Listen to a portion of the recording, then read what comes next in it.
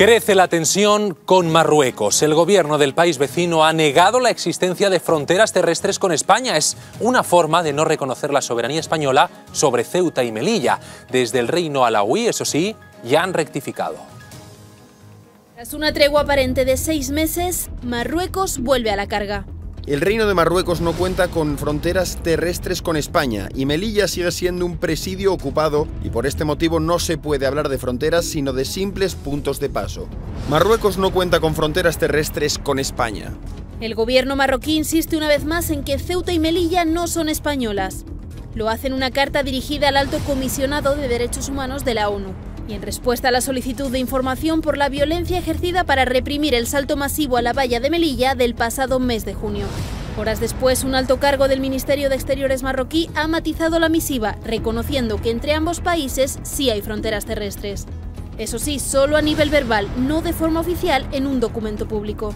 Y aunque Sánchez siempre quiera mostrar firmeza en este asunto, Ceuta y Melilla, señora Gamarra, son España. No es la primera vez que Rabat presume internacionalmente de la soberanía de ambas ciudades. En marzo, la web de la Embajada marroquí en España publicó un mapa que las anexionaba a su territorio.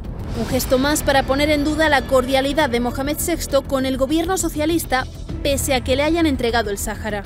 No solo eso, según informa en exclusiva el español, Marruecos podría tener una red de espías infiltrados en varios de sus consulados. Esto se ha conocido esta semana, lo que pasa que no es una novedad porque es un método habitual de trabajo de los servicios de espionaje, no solo marroquíes. Efectivamente, la Audiencia Nacional acaba de denegar la nacionalidad española a un ciudadano marroquí que trabaja en el Consulado Alawi de Madrid. Para el periodista Bryce Cedeira, el peligro es evidente. Para España, evidentemente, es un riesgo, eh, no solo que hay, hay, se haya localizado a este, a este individuo, es un riesgo que, que haya otros que haya otros agentes secretos infiltrados en, en, instituciones que se encuentran en nuestro país. Por eso, el Centro Nacional de Inteligencia tiene una división que se dedica especialmente al contraespionaje. Una red de espionaje que ya habría tenido su primer capítulo con el escándalo Pegasus. Porque recordemos, según la inteligencia israelí, Marruecos usó este programa para acceder a información clave de Pedro Sánchez y todo su gobierno. Tras las declaraciones de Marruecos en las que aseguraba que no tenían frontera terrestre con España y que Ceuta y Melilla son presidios ocupados, ahora el país ha rectificado estas palabras. Nos vamos hasta Melilla. Sara Uchen. Muy buenas, pues aquí la ciudadanía se lo ha tomado pues con una gran sorpresa que sigan cuestionando la españolidad de las dos ciudades de Ceuta y Melilla, más teniendo en cuenta sus, en, en cuestión de Melilla, sus 500 años de de historia en la ciudad autónoma, pero también ha tenido sus repercusiones políticas. En este caso, el, el, presidente de la ciudad, Eduardo de Castro, también ha calificado de tosca estas afirmaciones por parte de Marruecos. Dice que Rabat solo quiere eh, negar la realidad y ha pedido que no se vuelvan a, hacer este tipo de declaraciones, aunque ya hayan rectificado. Por parte de la delegación del gobierno, Sabrina Mock, la delegada del gobierno de Melilla, también se ha mostrado tajante y ha dicho que Ceuta y Melilla son y serán siempre españolas. Eh, un dato más y, y, curioso y es que las fuerzas eh, de seguridad del Estado en esta ocasión aquí en Melilla, la, el vallado fronterizo, ha tenido pues mucha tensión esta misma noche. Han estado muy alerta porque recordemos que cada vez que hay tensiones entre España y Marruecos lo acaban pagando las dos ciudades autónomas. También ha hablado por su parte el presidente del Partido Popular, Juan José Imbroda, quien ha calificado de bochornosas estas declaraciones por parte de Marruecos y también ha criticado a Pedro Sánchez por no haber venido con un documento firmado en su última reunión. Vamos a escuchar al presidente del de Partido Popular de Melilla, Juan José Imbroda.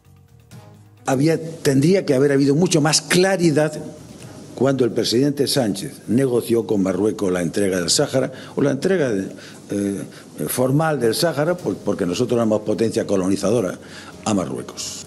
Yo me da la impresión de que aquello acuerdo era para pasar de puntilla lo que era el meollo y núcleo más importante que había de relación de España y Marruecos que era la soberanía, reconocimiento de la soberanía española de Ceuta y Melilla. Se tendría que haber aprovechado aquella negociación y aquella entrega, entrega del Sáhara para haber obtenido a cambio un reconocimiento que tendría que ser siempre firme.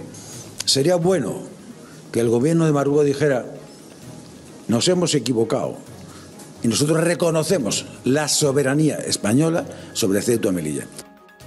Pues no ha sido así. Desde el gobierno no dan explicaciones al respecto. Lo único que han hecho es asegurar que Marruecos sabe que Ceuta y Melilla son españolas. Nos vamos ahora hasta Ceuta para conocer cuál es la opinión de la gente en la ciudad autónoma. Antonio Gómez. Pues de momento indignación y una vez más la situación de los ciudadanos se ha vuelto contraria a lo que habitualmente Marruecos suele hacer, como un mantra especial de manera oficial, el que Ceuta y Melilla no son reconocidas como territorios españoles y más aún ha llegado, como ya todos saben, ante la ONU decir que no reconoce las fronteras terrestres. Nos hemos venido aquí justamente a la frontera terrestre, los últimos metros de España, de este territorio nacional que linda con Marruecos. Eh, sobre esta circunstancia, sobre este tenor, después de todo lo que hemos escuchado, eh, José Carnaud, nuestro compañero en Valencia, ha querido conocer las palabras del presidente de Vox, Ceuta, muy crítico con el gobierno de la nación, muy crítico con el gobierno popular en Ceuta, que se sirve del sostén del PSOE para su gobierno en la autonomía. Escuchemos a Sergio Redondo.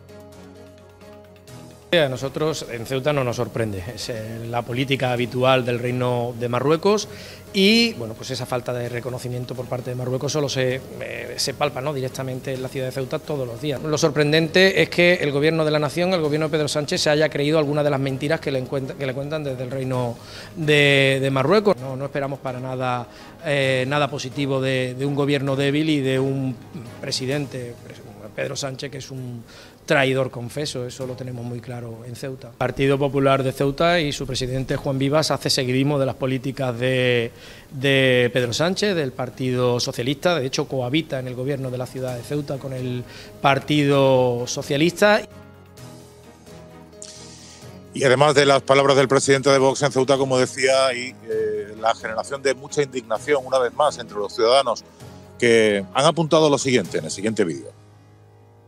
Pues me parece lamentable partiendo de la base de que el gobierno de España trata como socio y amigo al, Reino de Marruecos, que no llevan más que muchísimo tiempo eh, a la ciudad de Ceuta y Melilla.